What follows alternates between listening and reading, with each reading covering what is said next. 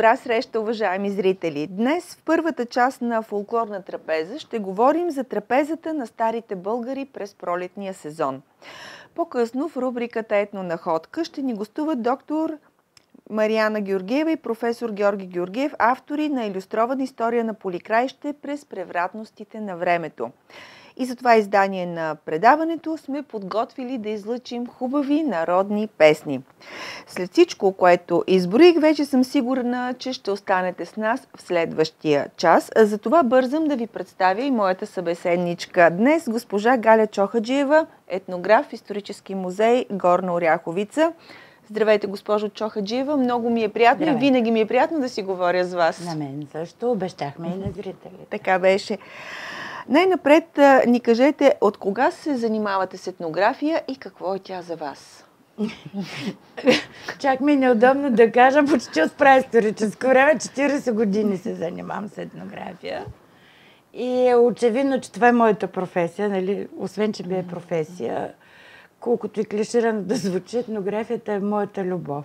Като дете имах късмета да имам баба и дядо, които носеха още от старите българи в себе си и някак си ми го а, предадоха в университета. Вече се оформи една такава романтична любов към това, разбира се, под влияние на моя учител, който тогава беше много млад асистент, сега професор Анчо Калоянов. И той беше един такъв омайник човек, който много знае за традицията. Някак се ме привлече а, за тази кауза, да го кажем, но все още беше някаква романтична любов към доброто старо време, към красотата, към, към морала, към всички тези неща. Разбира се, това започнах да работя в музей, зато завърших. И тогава усетих тръпката на изследователя, защото дали, любовта е така, стана премерена. Започнахме да се уважаваме с етнографията и 40 години сме заедно. Наистина завиден период. да. Както вече казах малко по-рано, днес ще говорим за трапезата, пролетната трапеза на старите българи. Предполагам, че тя е много по-различна от нашото, тези, нашото съвремие. Така ли е? Да.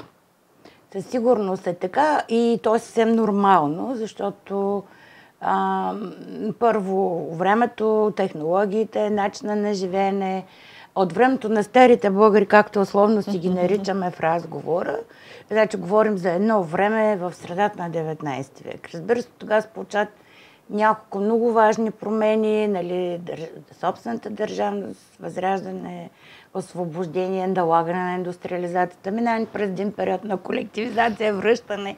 Всичко това много определя храната а, и защо целият режим, не само там продуктите, а и, и системата, по която човек се храни. Да.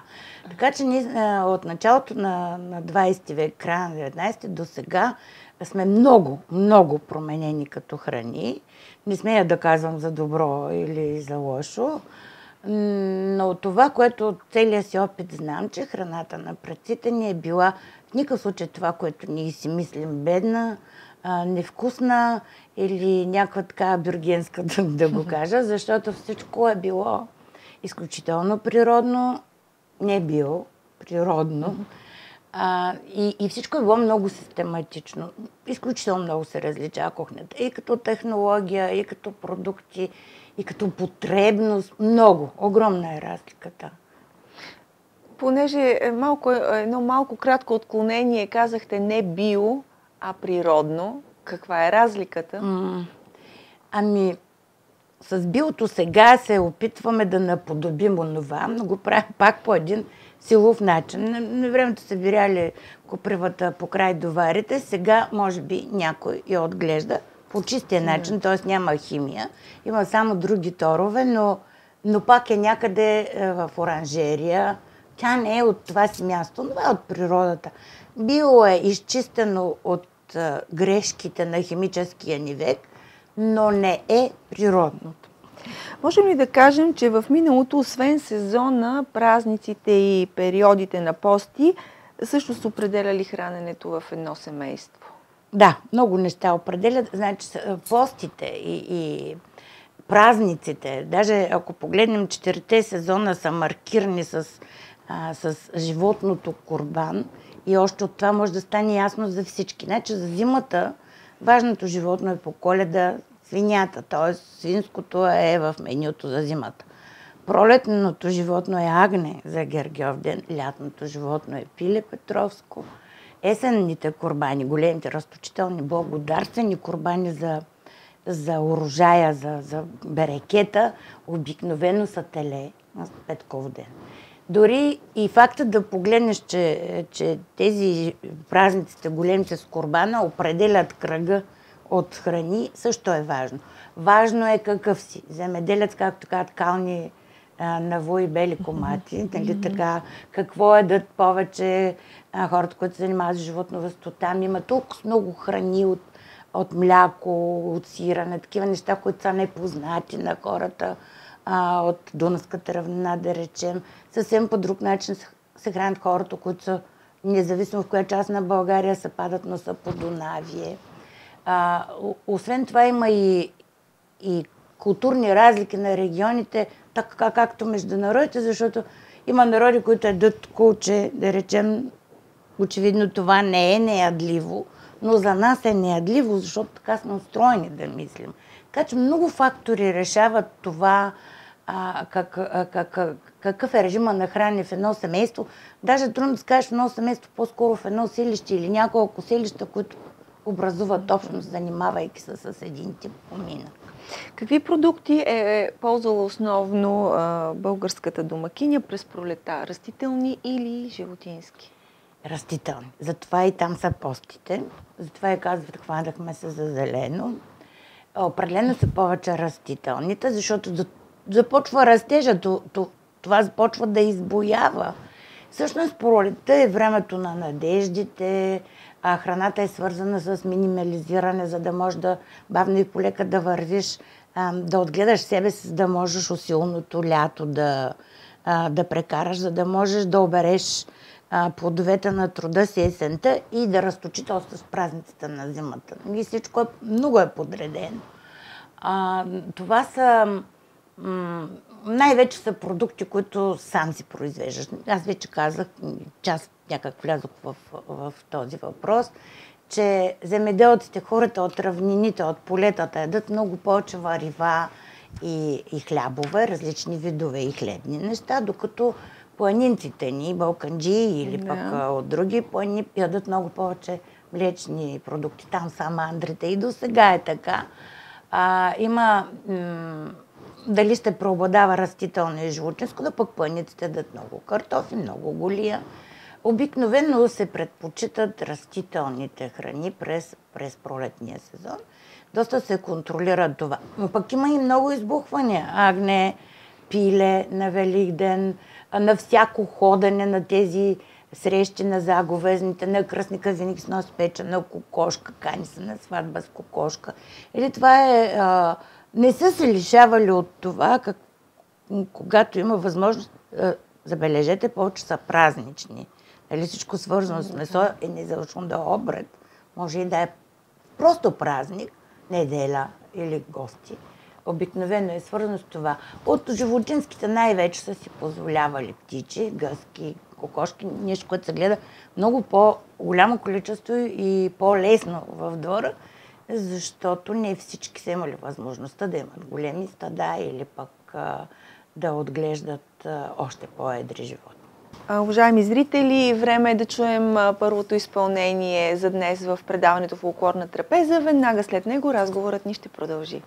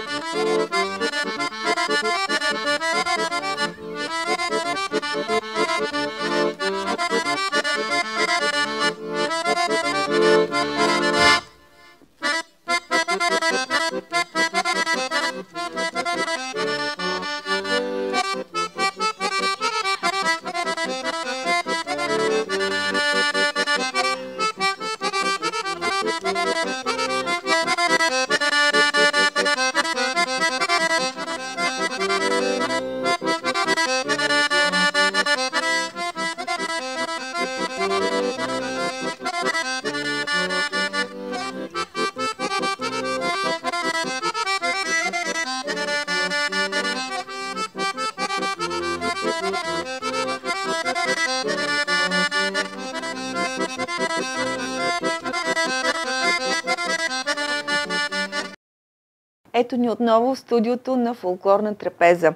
Разговорът ни с госпожа Чохаджиева, етнограф исторически музей Горна Оряховица, продължава.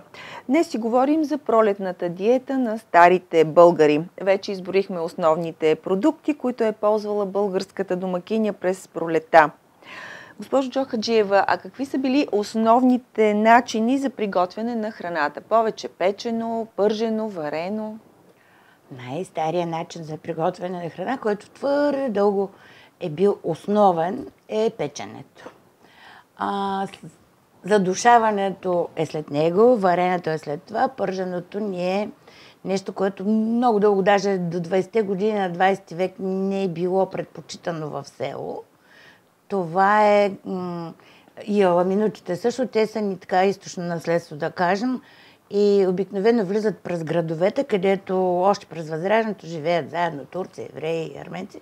А, това е градският тип манджа.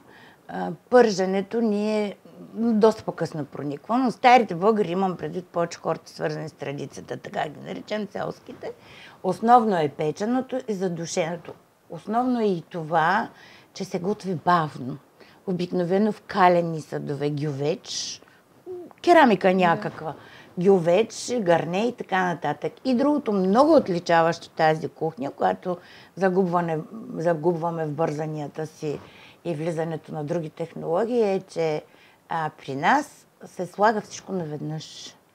В този кален, от типа на капамите или ехниите, всичко се слага, включително и част от, от меродиите, както казват, макар че винаги отгоре се ръща свежо. То основните технологии с това печено, а, задушено, бавно готвещо се, а, варено и, и всички продукти сложени заедно. Това е, а, според повечето диетолози, е изключително здравословно. Очевидно. Били са достатъчно дълголетни. Според традициите, по-младите или по-възрастните жени в семейството са имали грижата да а, приготвят храната? Храната има в степени на разпределение в голямото старо семейство а, обикновено, как да кажа, нито най-младите, нито най-старите, средните носят, въртят къщата на, на раменете си, защото старите баби вече само държат ключа за продуктите, образно казано, и нареждат, а по-младите снахи готвят. Най-младите те първа се учат. И понеже все пак те са били твърде заети в абсолютно изпълненото с работа ежедневие в работните сезони. Нали? Същите тези хора са тези, които жанат, които отглеждат децата, които отглеждат животните. И имало и някакъв вид разпределение. Обредно са контролирали за какво, например, най-старата баба трябва да направи погачата, за какво трябва най-младата невеста. За всичко си има правила в традицията, при това правила, които не са първо, второ и трето и няма заплаха, ако не ги спазваш и въпреки това всички са ги спазвали. Така че общо взето въртокъшниците, тези, които вече са се научили и все още могат, но а, така, това, което е свекара, стопана за цялата къща, това е свекървата, най-старата за цялата женска челяд. Тя определя какво ще се яде, защото е имало период, в който е много усилен труда, да речем, спрят няколко фурни хляб, които има за цял месец, докато се жени. Бабата определя как, как, какъв хляб ще се не прави квасен или не, кой ще издържи дълго, кой ще трябва после да се топли, кой може да се носи на нивата, кой е за вкъщи, кой е за празник, кой е за делни. Отговорна задача. Да, отговорна задача. Така че има да кажем едни, които разпределят задачите, едни, които ги изпълняват. А най-малките момичета би било позволявано да речем да правят клас манички, питки, такива, които да се сушат за, за мая, да му кажем сега, макар че клас мая не е едно и също защото на тях не им се позволява, те не могат да хранят цялата къща. Да храниш цялата къща включва и това, не само да изкараш средствата, а и физически да направиш храната. И тогава, както и сега, колкото и да е била строга традицията, има, има моменти на разпускане на чувства, защото един прави тази манджа по-добре, аз не искам да я прави стринка или искам да я прави баба или най-добре я прави етървам и така нататък. Винаги си имало хора, които по-добре правят една, по-друг прави друга. Така че са си позволявали да имат претенция. Кой прави най-добре това? Може ли да ни изброите наименованията на някои стари пролетни госби, приготвени от българите и след това да обясните някои от тях? Те, а, да. И това е интересен въпрос, просто защото ние сега можем да кажем профитароли или гуакамоле, но не знаеме какво е синдермион, например. Това е да... Значи, на това енигматично нещо синдермион. Другото му също не е до там ясно име е бял мъж. това ни краища му казват така, на друг по друг начин. Ето в, реда на, на, на тях се сещам за скордаля, куколник, а, за храни детенца, както бел мъж. Има едни такива, които са странни думи по българени, турски или арменски, откъдето сме взели храната спрямо региона за който става дума, но има и такива почти поетично звучащи, като бял мъж или захрани детенце, защото захрани детенце е една каша от препечени и щукани просени зърнца. Вече, може би, даже и в просо не знаем какво е, защото това е много лекичко и силно сладнящо брашно. И с това, когато се отбиват дечицата, се захранват. А бял мъж или синдермио, понеже първо споменах това, е, е едно ядене, което се сервира на топки, сервира да използвам сегашната дума. То е едно дълго варене с мляко а, а, и масло на сирене. Сирането се разтопява и се образуват нови топки, също като белия муж. Оставя се тук там малко, а, малко да се усеща сиренето, не се получава тотална каша.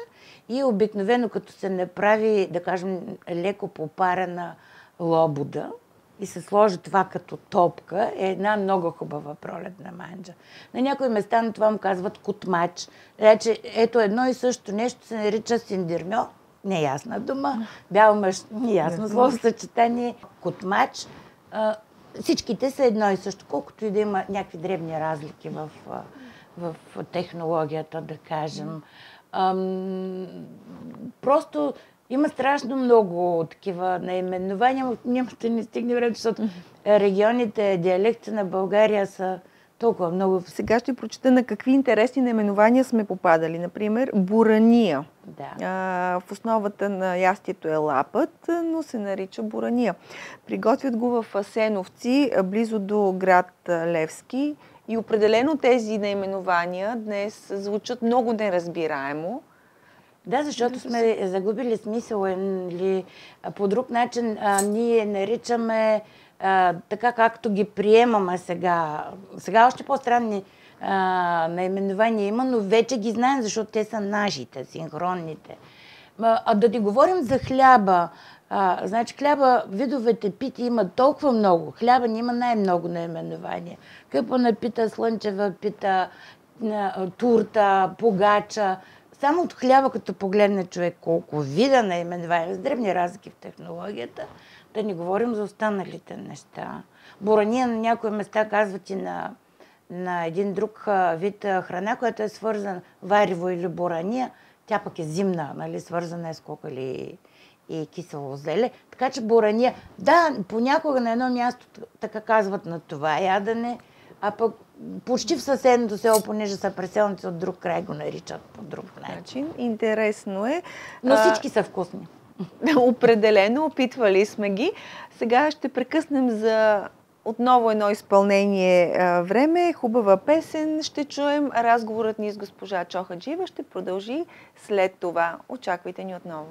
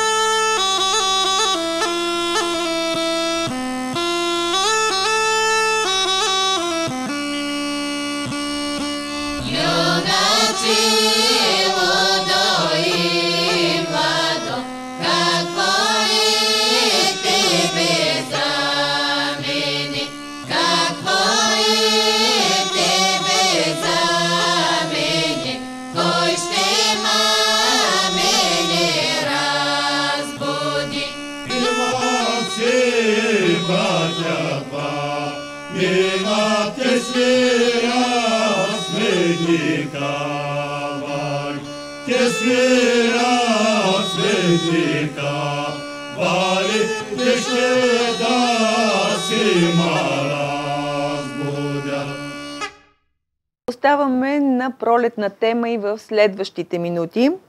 Госпожо Чохаджиева, какви мазнини са използвали в миналото за приготвянето на ястията и конкретно в случая за пролетните? Дървеното масло е изключително ценно, да мека захтина. Олиото ми е било доста малко познато. Най-често олио се добивало в краищата, където се отглежда сосам или фастъци и такива маслодайни.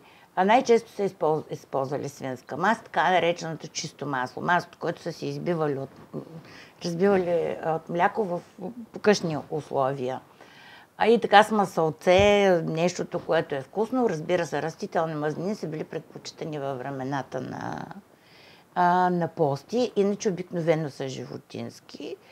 А, всичко е било обаче толкова премерено, че това не изглежда като непропоръчителна диета. А какви са били любимите пролетни подправки при приготвяне на ястията? Джорджен, който е свързан много с, с букването на пората и мириса му, това е домашно отглеждане. А много са обичали братовчеда на Джорджа на мастърката. Много е обичан също Ригана, макар че на много места ги наричат странно. Рядко ги казват така. Казват едно общо мерде, нали, или меродика, което а, там вече си има някакви баби на душица, ръчица, зъбки и други такива, които те си казват. Другото много обичана е чубрицата. Много обичана навсякъде по българско. Включително са отнесли а, нашите градинари любовта към чубрица, защото тя сей, а, когато се правят зеленчуковите фетери, тя има такава отделя м- някаквите етерични изпарения, които гонят някои от вредителите. Чубрицата е много обичана. Дъх, дъх на чубрица и джоджен може би е определението за, за българския на Дошло от времето, и запазило се да, и, и продължаваме да ги обичаме. Да. Да. Вече говорихме за продуктите, но има ли такъв, който не е познат на българската домакиня днес?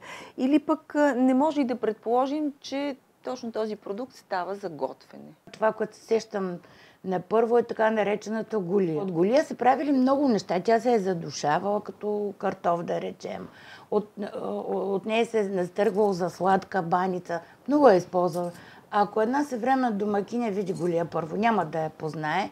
Второ, тя е такава абсолютно безвкусна, като я а, пипнеш на, на първи вкус, със сигурност. Освен това, а, сигурно ще кажеш, че не става. Освен това, тя никне а, а, нагоре прави едни пръчки, такива, които причат на коноп по някакъв начин, на метла. Странна е на вид.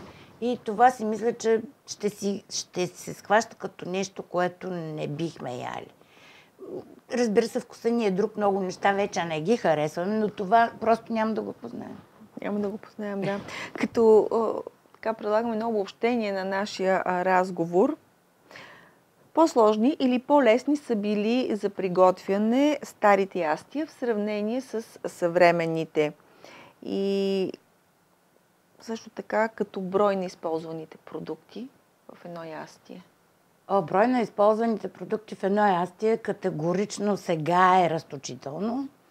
А, сега сме експериментатори, сега се опитваме неща, които не мога да си представям, че ще се съединят да ги направим. Всеки е индивидуалист иска да блесне. Тогава традицията повелява определени неща и ако сбъркаш, ще се окаже, че е вкусно, може да го приеме за нова технология, иначе доста се спазва. Но не се спазва да кажем, като градските домакини 20-те години, защото там има едни тефтери, които се пишат толкова грама, и на чашка, една лъжичка. Бабите не се умерят на око.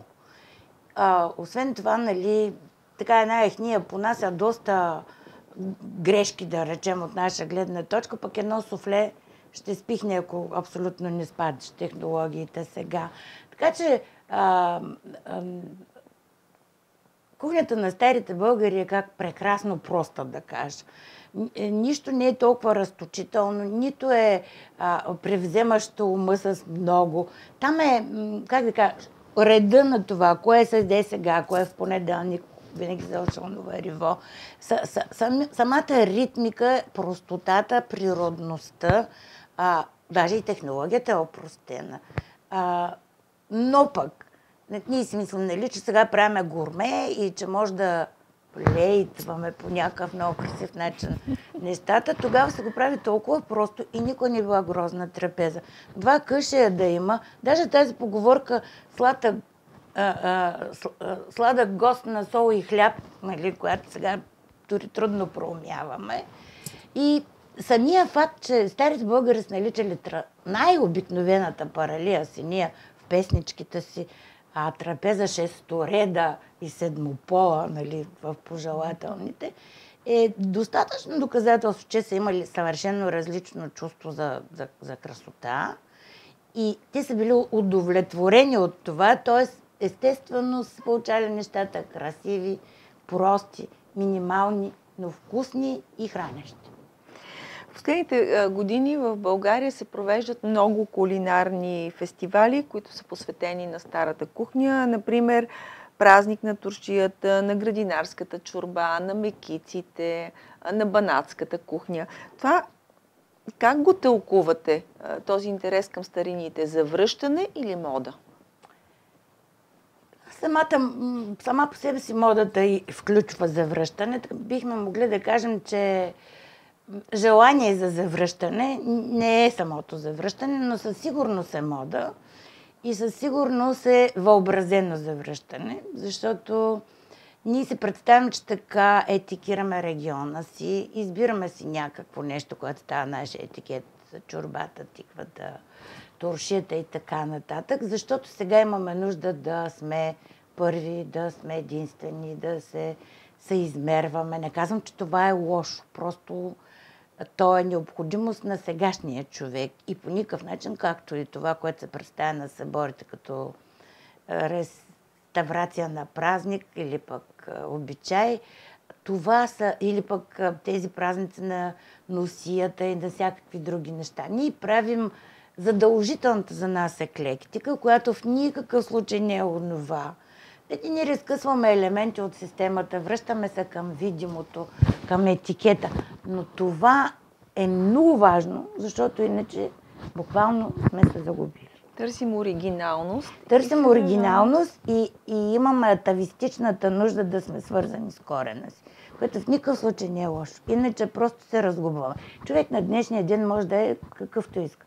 Да се промени религията, да се промени място на живеене, да замине през океана, но винаги ще има нужда да е свързан с корените, защото иначе се чувства объркан и не знаеш кой е. Разбира се, го прави го по един много различен начин – този начин предизвиква дискусии, така, но слава Богу, че ги има. Освен това, храната е изключително свързващо нещо. Много повече от дрехата, всяки други неща. Казват, стане приятел, някой трябва да издеш на труба сол с него.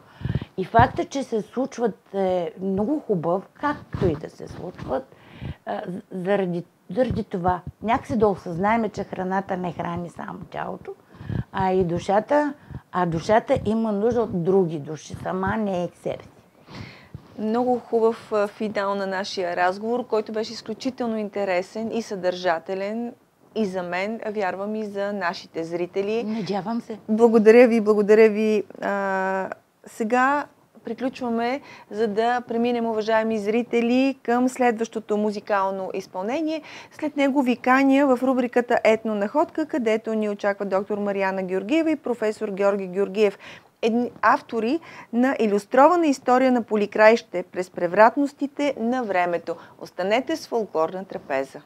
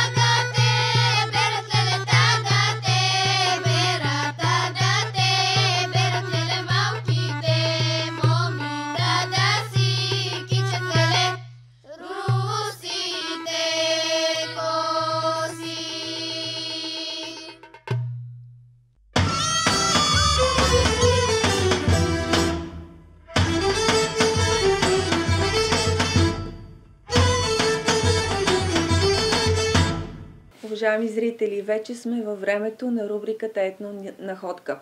В минутите, които предстоят, ще ви представим книгата Иллюстрована история на поликраище през превратностите на времето. За мен е удоволствие да посрещна днес в студиото авторите на този сериозен труд доктор Марияна Георгиева и професор доктор Георги Георгиев. Здравейте и добре дошли! Добре. Много сериозен труд стои пред нас. Това са 1100 страници. Колко време отне събирането на материалите, подготовката и как възникна идеята от, за създаването на тази книга? Точно не може да кажем колко години. Може да кажем 30, 60 или 10. Зависи в кой точно момент ще решим да поставим като начало на събиране на данните. Това е един огромен труд на нашето семейство лично. И за съжаление, сега сме само двама от авторите пред камерата. Нашите родители са едни от видните личности на образователното дело в Поликраище и според измеримостта на техните резултати и твърдим и на България. Та, всъщност, те искаха отначало да има история на образователното дело в Поликраище. И не само защото майка ни беше една от изключителните личности като учител и педагог и преподаваше български язик и литература, но и учеше нашите съселяни на многобройни умения, свързани в часове по трудово обучение или учеше как да шият, как да подредят шевици или готварство. Но и защото всъщност нашия пра-прадядо, свещеник Георги Пологанов, е основател на, изобщо на образователното дело в нашето родно село. С времето, и особено през последните 10 години, когато много активно вече, едва ли не, до 60-70% от нашето време от свободното почти 100, попаднахме на най-различни материали, свързани с историята на нашето поликраище. И така възникна този огромен труд. Вие казахте 1100 страници, но това е само на първия том, защото... Значи да очакваме е, още. Да, то е замислено като поредица и а, това, от което извадихме като първи том има втори, който е в много по-голям обем. А, има и други материали, които не са толкова добре оформени в възможност да бъдат отпечатани. Така че е огромно количество материал и историческа информация. Нека сега малко да конкретизираме какво съдържа точно книгата, кои периоди а, обхваща от живота на селото, които вие сте ги документирали. В този том има, е оформен в четири глави и всяко от тях различен брой раздели. Най-обширна е последната глава за образователното дело. Третата глава е за обществения живот, сме нарекли на поликраище.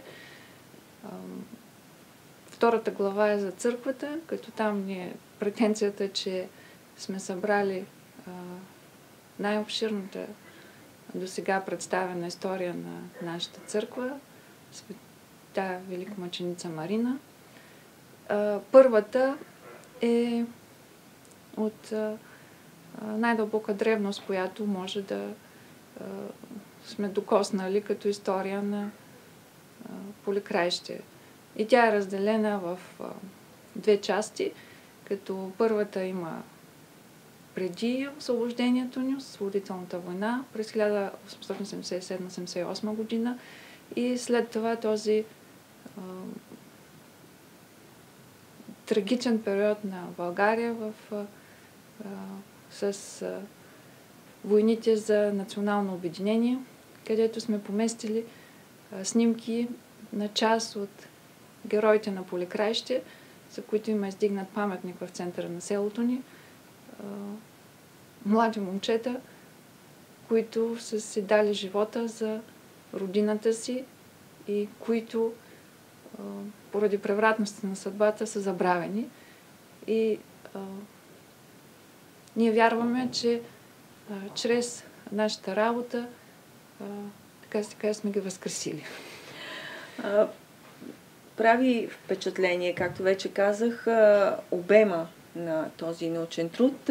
Аз искам да успокоим нашите зрители, че това не е сухо четиво. Има много а, снимки вътре. Колко са на брой? А... Как ги събрахте? В а, този том има около 980 материала, над 200 документи, а другото са снимков материал. Основното събиране го дължим на нашата майка. Тя беше основният двигател. Всъщност, идеята изобщо да се роди това е нейна. И ако този труд съществува, е благодарение на нейната амбиция, воля, сила и енергия на нашата майка Трифонка Романова Поп-Николова. Трудът е огромен, а, затова аз ви предлагам да поставим акцент на една определена част в книгата и нека това да бъде етнографията, тъй като майка ви, както стана ясно, е била в основата и на това. Какви аспекти са засегнати в етнографска насока? Ами най-интересното за Поликраище, което може би е известно на част от вашите зрители, че това е едно от селищата с най-развито горбечийско градинарство, като от около 20-22 хиляди, 24 хиляди градинари в България, 2400 са били от Поликраище. Други известни селища, които са много забележителни в тази насока, са Драганово и Джулюница. Е, първоначално в историческите извори пише, че градинарството е възникнало около 1715-20 година в Лясковец. Около 100 години е било е, само привилегия на Лясковец. И едва към 1810 година лясковчени разрешават на жители на други селища да участват в тяхните градинарски или бъкчуван им и започват да набират работници от Поликраищи, Калтинец, Сергиевец, Долна Оряховица, Темниско и други селища. И от тогава Поликраище започва да се възмогва. За продължение на 200 години всъщност при нас това нещо съществува. Първите до 9 септември то става най-богатото селище в България поради изключителното трудолюбие, предприемчивост, е, находчивост е, на неговите жители. Значи искам да подчертая дълбоко, че това, което пише в нашата история за така наречените възрожденски селища, това са привилегированите от османската власт селища, които самата държава им е дала условия за развитието и за забогатяването. Поликраище е точно селище, което никога не е имало никакви привилегии, но поради изключителното трудолюбие, амбиция и способност на хората, той е успял да надмине всички тях. С градинарството. С, не само с градинарството, но едно от... Най-известно е всъщност градинарство, защото най-мащабно е било. Но имало, разбира се, и други дейности, които са били практикувани, включително и земеделие. Като Градинарството в Поликраище има такива огромни мащаби, каквито просто не може да ги сънуваме. То се простира от Урал до Алпите. Това е почти цялата Европа, което до сега сме го доказали документално. И е, това е нещо невероятно. Може да се представите какви хора с какви огромни познания на езици са били Вие те. също сте наследници на градинари. Доколкото знам професор Георгия, вие също сте ходили в като малко в чужбина. Еми да, разбира се, всички полиграфчени са градинари. Ние имаме роднини в Братислава основно и като деца там сме прекарали летата, сме продавали сме на пазара, там сме научили Тоест, езиците. говорите и от първо лице. Еми да, имаме е, преки впечатления от е, това. Знаем, познаваме много дълбоко живота на градинарите. Всъщност, нашите градинари са създали едни малки Българии по цялата Европа. Е, при това те учеха там местното население да говори български язик, при тях се говореше на български. Е, всички техни работници, продавачи говореха български, пееха се български песни. А, това неминуемо е повлияло и на развитието на архитектурата, привнесло е нови модни тенденции. А, засегнато ли е в книгата? Тук аз искам да кажа, че действително бита на поликраищини изключително много се различава от този на околните селища, тъй като естествено, че са, се е влияе от начина на живота в Виена, в Будапеща, в Братислав, много други градове. На поликраищи е, не е било никакво изключение да има пиана в домовете. Е, най-известното може да направим впечатление огромните портрети, които са били създавани още в края на 19 век в всички домове. Интересно е, че има цветни портрети, които са изпращани и са оцветявани като картини в Будапеща или в Виена. По къщите имаше старите фрески, стъклописи, виенска мебел, неща, каквито просто никъде другаде не може да срещнете. Искаме тук да обърнем внимание, освен градинарството, на един още много интересен въпрос, който открихме, всъщност майка ни установи по време на издирванията. Това е поликраишкия сукай – информация за него има в една, едно издание на БАН. Той е бил изобразен на фреската Страшния съд в църквата на Поликраище. За жалост тя е унищожена поради това, че в Поликраище има изключително големи гонения на, на църквата, на свещенослужителите, на вярващи след 9 септември, за които ако ви говорим, просто е потрясаващо. Това е, може би, тема, като, дълга просто, тема. Като този Сукай ни дава основание да смятаме, че всъщност ние сме царско село, т.е. Поликраище по две линии е царско село. Едното е, че още по времето на цар Калоян, там са строени стенобойните машини за българската войска. Има запазено предание за това. Там е било главния стан на войската, там се е събирала конницата, просто условията са такива. И е, по тази причина то е било изключително под управлението на царя и под личния надзор на Калоян на цар Иван Асен II и има огромен принос за превземането на Варна, на Одрин, Сяр, обсадите на Солун, на Цариград. Това може да се, разбира се, това е предание, но това е, е изобразено в книгите на писателя Мантов, като втората, втората причина за считаме, че царско село е, че част от населението е преселено от Келифарево през 15-16 век, което също е владение на, на сеневци, така че винаги поликраищени са имали самочувствие на много по-горни от останалите българи, не само като европейци, поради това, че са градинари, а просто българи от древни времена. И по тази причина никога при нас не е имало никакво гърчение, никакво турчение, макар че нашето село е било под огромен натиск от страна на споменатите гракомански селища, за които станах, и на огромната е, мусулманска общност, която ни обграждала от всички страни. Та, това е Сукаят, един, една от податките за болярския происход и наследие на а, нашите предци, които са го запазили до средата на фактически 30 години. Е Сукай? Да. Нали, това е укращата, която високо поставените жени от болярски са носени на... Точно това исках да бъде препратката към следващия да. ми въпрос и всъщност малко да се върнем към началото на разговора а, относно етнографията на Поликраище. Казахте вече, че майка ви се е занимавала с различни курсове, организирала е обичаи, представянето на обичаи. Може ли да разкажете за един такъв обичай, нещо характерно, как се е провеждал или самата възстановка? Значи това се отнася за периода, който нали, в нашата история го а, носим под емблемата социалистически период. Тогава имаше само единствени партии или единствени организации, нарича се Отечествен фронт. И в рамките на тази организация се развива тази културно-просветна дейност.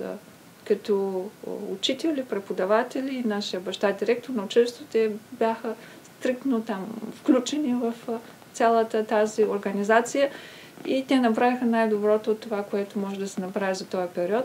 Нали, нашето село и съответно и другите населени места са били разделени на съответни районни организации – Нали, а, нашият район, а, около нашата къща Махала, беше като 17-та низова организация.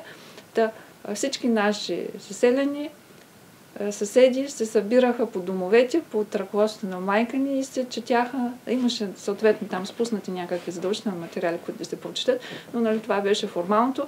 А тя като а, преподавател по литература и български язик се четяха основно изключително вълнуващи романи и книги, които имаха значение за обогатяване на мирогледа и светогледа на заобикалящите ни.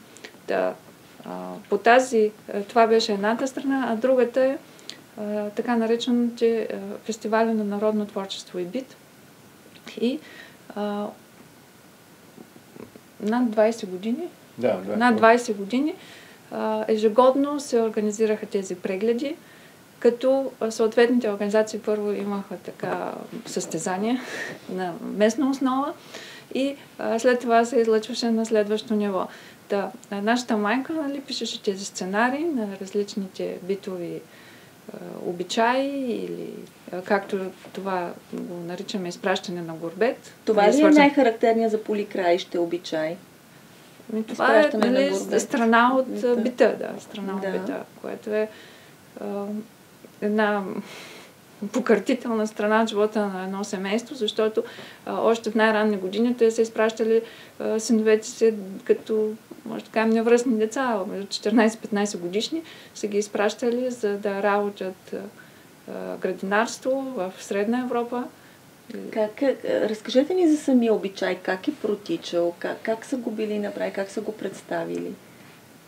Ами, всъщност, е, може да ви разкажем, ние сме участници в е, тези неща. Да, най, най, освен, само да спомена, освен на изпращане на горбет, майка ни пише сценарий за сватба, раждане на нивата, годявка, като обаче изпращане на горбет е най-грандиозното нещо, което тя направи, защото беше и сценарист, и постановщик, и режисьор, и организатор.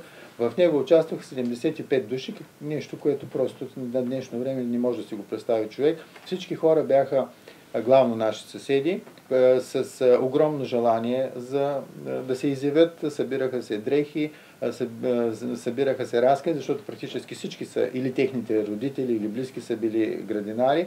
И всъщност постановката изпращане на Горбет се състои от няколко части, като най- трогателната е именно пазаряването на работниците, газдите, т.е. собственици на големите градини в Будапеща или Виена, пристигат в поликраище. Това става през зимата, около коледа, когато там не се работи земеделска работа и наемат работници. За тях най- най-изгодно е да наемат деца около 14 годишна възраст, защото заплащането е много ниско, а те вършат същата работа. И е, пазаряването става в кръчмата. Значи, там се събират е, техните бащи, пазаряват се с газдите, свири музиката, там се наемат и други работници, които да управляват градината. Е, и е, след това нали, се пристига, пристъпва към самото изпращане, което е най-жестокото, може би, в живота на родителите, защото майките се разделят с децата си, прегръщат ги, плачат, поръчват им как да се пазят, да не се разболеят, да пишат писма, като разделата продължава някъде около 7-8 години в най-добрия случай. Те се връщат обикновено, когато са призовани войници да дойдат в армията. При някои случаи се достига и до 20 и повече години, някои никога не се връщат. Това нещо не беше представено на прегледите за народно творчество и битва в Велико Търново през 1980 година, най-големия успех завоюва първо място и то беше толкова добре направено, толкова въздействащо върху публика, върху жури, че просто стотици хора плакаха, прегръщаха се и не можеха да се е, успокоят от това, което са преживяли. Наистина много информация има, но времето ни е кратко, за да разкажем всичко. Благодаря ви още веднъж за това, че бяхте наши гости. Надявам се по хубави поводи да се събираме отново и да даваме информация на зрителите за вашето дело. Благодаря ви. А вие, а вие, уважаеми зрители, бъдете с нас и следващия път. Дам-дам, дам-дам. Вода тече, вода тече, дос, дос, дос, дилберо. От бял мермер, от бял